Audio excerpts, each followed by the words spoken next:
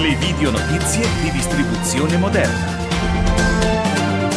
Eh, presentiamo una stagione veramente ricca sia di eh, quantità di mele prodotte e di altra frutta e di qualità che finalmente dopo l'anno molto difficile dello scorso anno con la gelata che ci ha tolto molta produzione è tornata sui suoi livelli standard e quindi disponiamo di tante mele eh, di altissima qualità sia estetica che organolettica. Allora, noi come Melinda siamo leader, orgogliosamente leader in Italia e il primo obiettivo ovviamente è quello di consolidare questo mercato che è per noi eh, quello che ci dà più soddisfazione e eh, denota proprio la capacità degli italiani, la volontà degli italiani di, cibarsi sempre al meglio.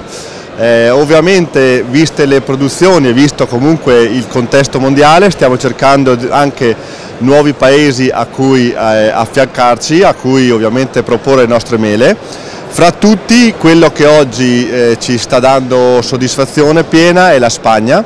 eh, che guarda caso è molto simile all'Italia sia come comportamenti che come abitudini alimentari. Ovviamente un occhio eh, anche ai nuovi paesi eh, sia del Middle East che dell'Africa eh, a cui vorremmo destinare ancora più prodotto di quello che riusciamo a fare in questo momento. Ma le nostre celle ipogee, cioè quelle eh, celle frigorifere scavate nella roccia dolomia dove in maniera unica al mondo riusciamo a conservare le nostre mele, eh, sono l'esempio, la ciliegina sulla torta di una filosofia eh, sostenibile che eh, stiamo percorrendo. Sono un orgoglio, sono un'unicità mondiale e quindi per noi sarebbe un orgoglio poter portare più persone possibile in Val di Non, sul nostro territorio e far vedere loro, proprio toccare con mano questo, eh, questo progetto e quindi vorremmo, eh, se riusciremo ad aprire eh, nel corso del 2019, proprio perché diventi